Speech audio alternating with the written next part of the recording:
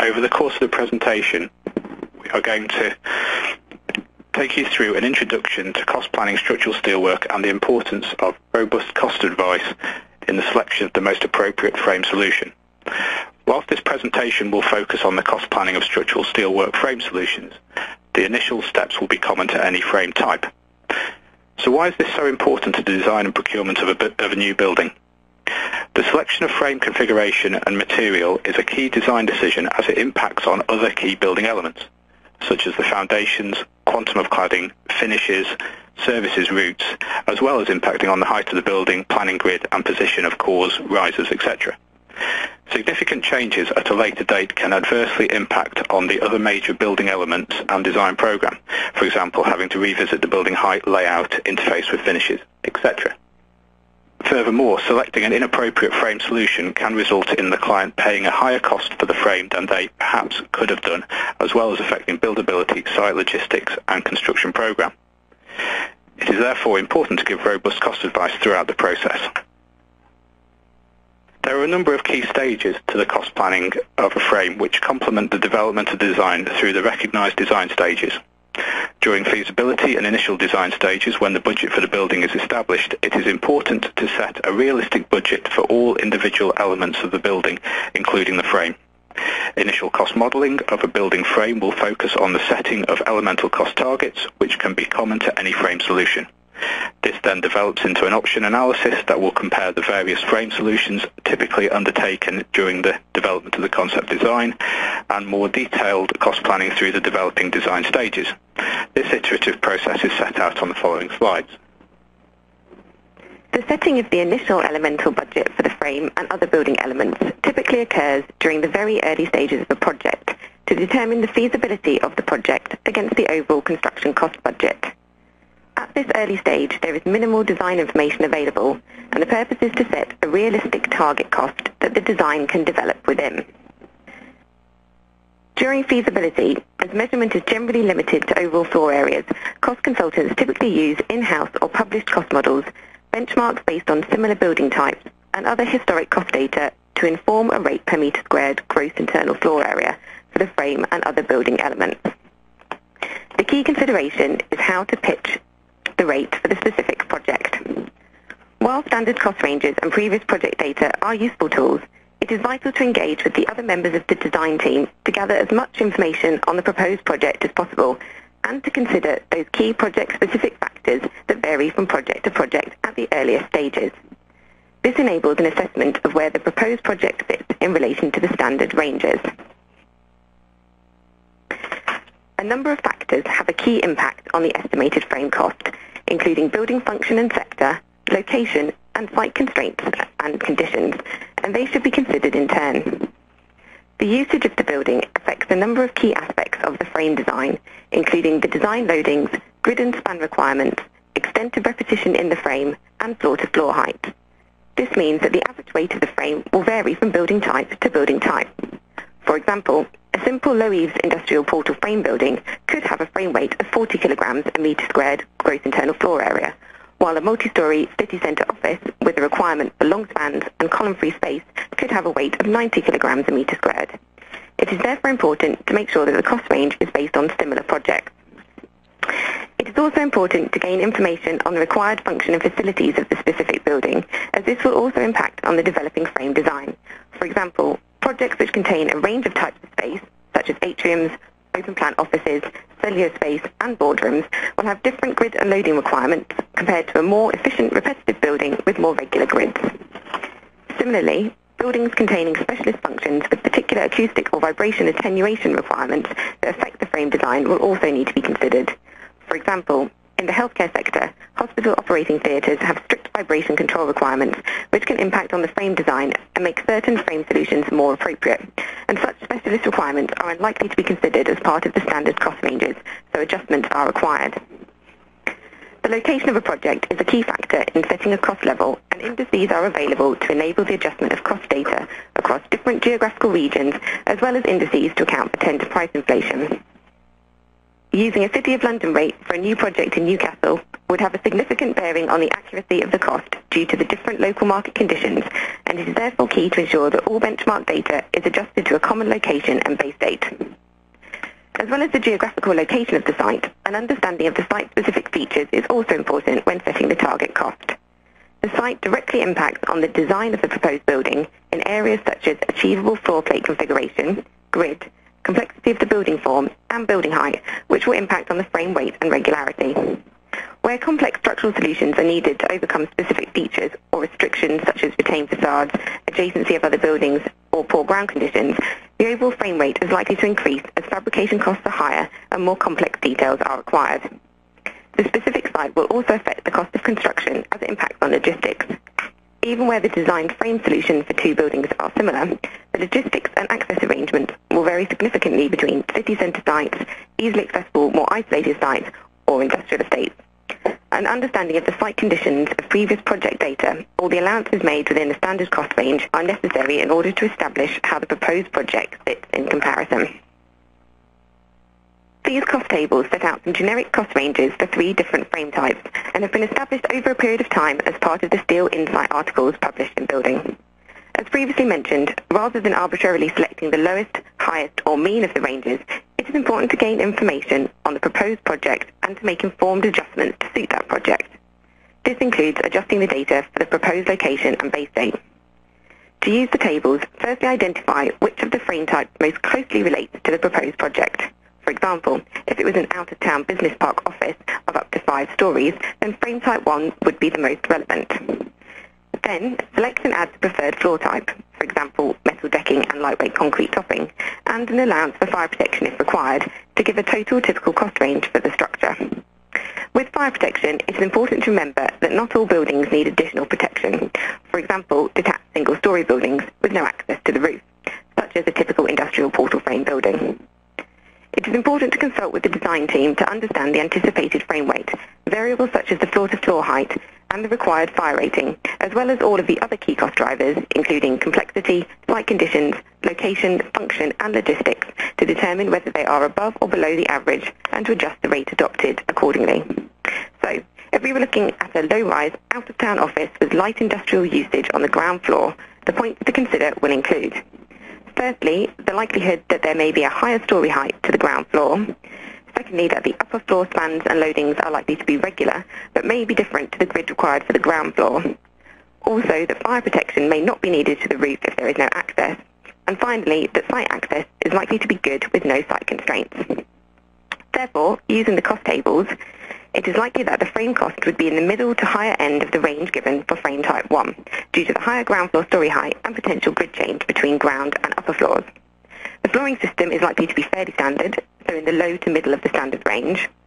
Fire protection is also likely to be low to middle due to not all members, members needing to be fire protected and less aesthetic protection requirements to the light industrial use. Finally, the composite frame rate should be adjusted for the proposed location using indices.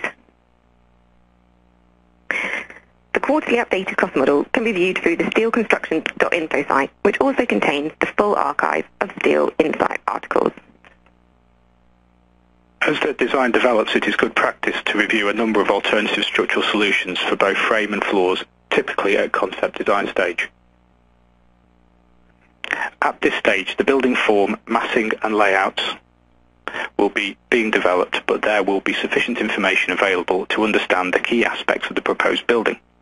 It would be straightforward to set out the cost of alternative frame solutions, but this exercise needs to identify the impact on other elements and program. This exercise will be based on indicative bay studies. It is common for the structural engineer to set out alternative frame and floor solutions for different types of construction based on a snapshot of the typical base of the building, which will pick up the key dimensions and spans and illustrate the typical construction requirements. There should be no need to measure the whole building for each option at this stage.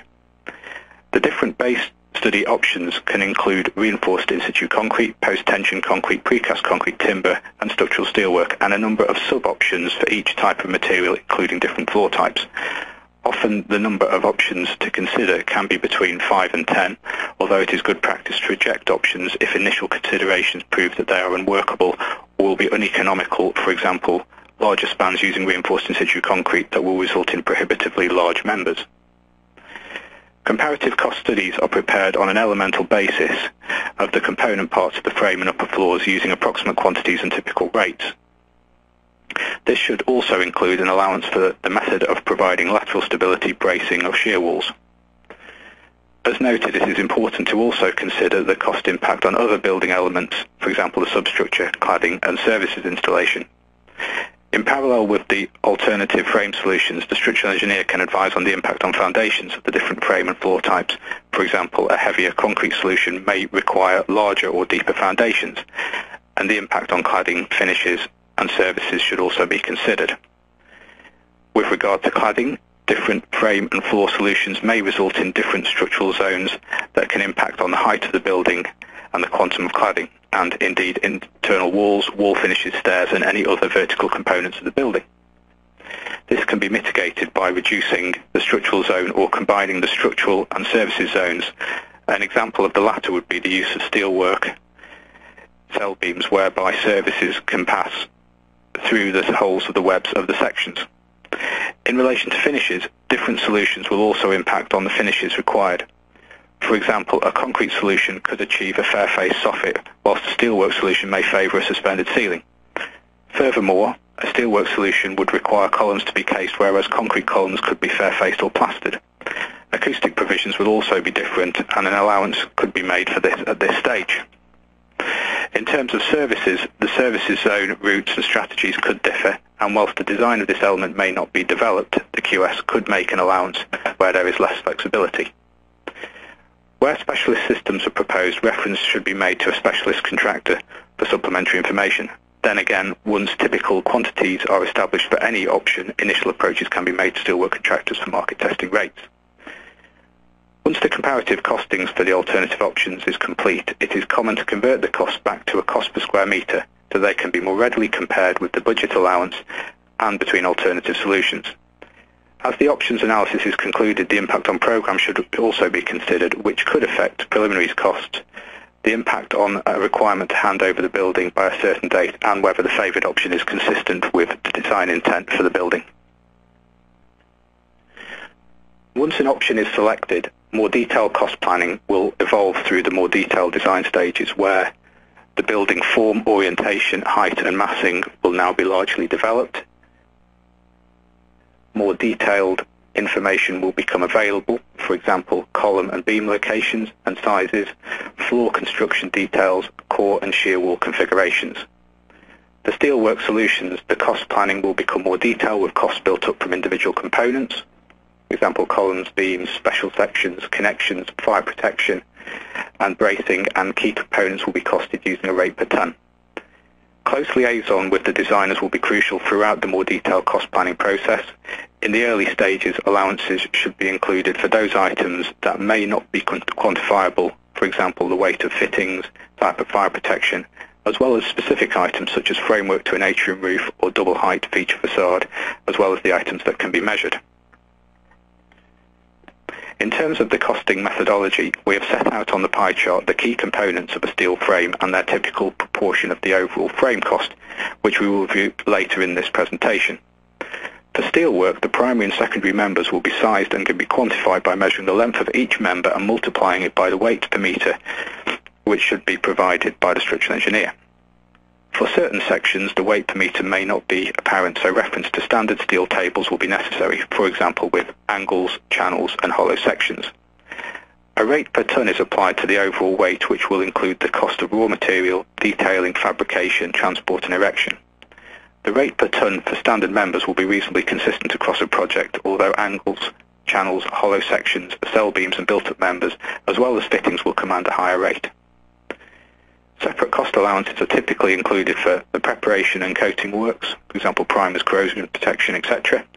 Fittings, which would be typically based on a percentage of total frame weight. Fire protection usually on a metre squared basis or a rate per tonne by either calculating the surface area of the proposed members or by applying a multiplier to the total frame weight. Areas per metre for typical members can again be taken from standard steel tables, and special connections to other materials should be considered.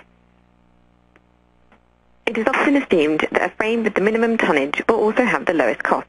However, as the pie chart demonstrates, the steelwork contractor's overall cost is driven as much by the time and process of fabrication of the components as it is by the quantity of the raw material. As well as considering the overall weight of the frame, it is also therefore important to understand the components of that frame, with frames that include a high proportion of non-standard sections, such as built-up members, fabricated plate girders required to support heavy loads, or trusses to span very long distances, likely to have a higher overall rate per ton than for a more standard design, due to the higher fabrication and steelwork contracted design requirements, even if the overall frame weights are similar. Similarly, despite appearing lighter or more cost-effective on paper, sections that are manufactured less frequently than more popular sections may incur higher costs due to the limited availability, and early discussions with a steelwork contractor can identify any products or systems where availability can be an issue to enable this to be fed back to the design team or incorporated in cost estimates through adjusted allowances. A similar approach also needs to be taken when considering the allowance to make for connections and fittings, which are unlikely to be fully designed at this stage. In a typical multi-story building, these can comprise 5 to 10% of the frame by weight, but can account for a higher or lower proportion of the total frame cost, as the cost of connections is largely related to their complexity rather than their weight. The most cost-effective approach will therefore have a high level of standardization and repetition to take advantage of reduced material costs, quicker and cheaper fabrication, and ready availability. To achieve value overall, a balance is required between material cost and fabrication cost. Efforts to initially use the lightest columns and beams for the primary and secondary members may require additional stiffeners, adding cost and weight. It may be more economical to offset this additional cost by small increases in beam or column weights and reduce fabrication costs. The erection of the steel frame typically accounts for around 10 to 15% of the total frame cost, so as part of the establishment of the most appropriate rate per tonne to be adopted, it is also important to consider whether there are features of the proposed building or site that would have a significant impact on the erection time or cost. The extent of repetition, piece count, the type of connections to be used, site access, and logistics can all have a significant impact on not only the cost of constructing the frame, but also the construction program and preliminaries allowances, and can mitigate higher than average costs in some other areas. For example, a long span layout required to achieve internal column-free space may have a higher overall frame weight compared to a more typical solution, especially where columns are used as beams to create shallower floors, but it will be erected faster than a short span frame due to the reduced number of beams and columns.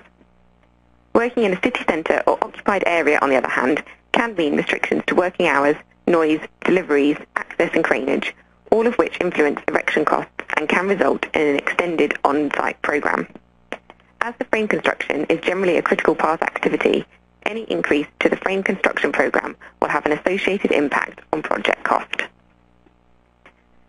A further key consideration when cost estimating during detailed design is the allowance to be included for fire protection, which typically accounts for between 10 and 15% of the total frame cost of a multi-story building.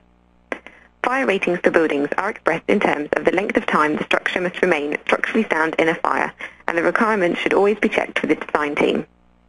The cost of fire protection is affected by not only the required rating, but also the methods that are proposed to achieve it. And again, it is important to seek advice from the design team, as this may not be fully designed at this stage.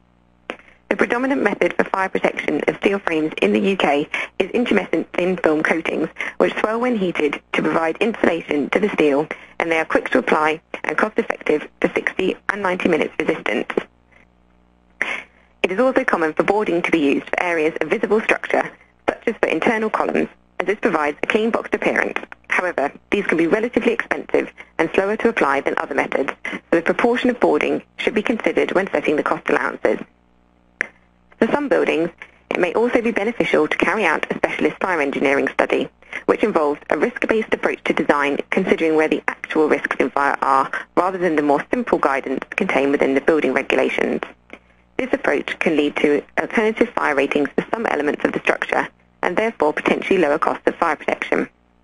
Alternatively, design studies can consider whether it is more economical to use slightly heavier structural members to reduce the overall volume of fire protection materials as the thicker plate of heavier sections inherently resists fire for longer.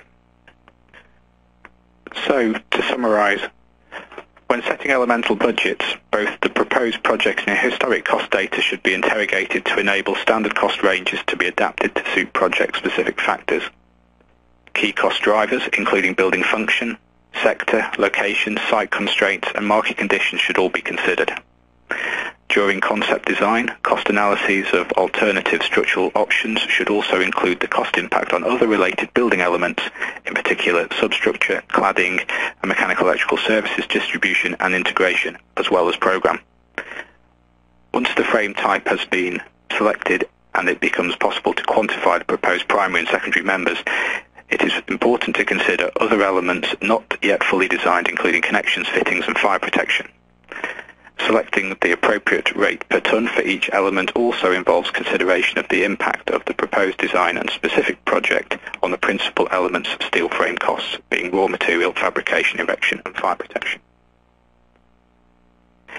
This webinar is the first of two that will be preparing on cost planning, the second of which we arrange later in the year and will concentrate on practical examples of cost planning and comparing frame solutions. The last slide also provides some useful links for further information together with a link to the Tata Steel stroke BCSA's new fire protection guide.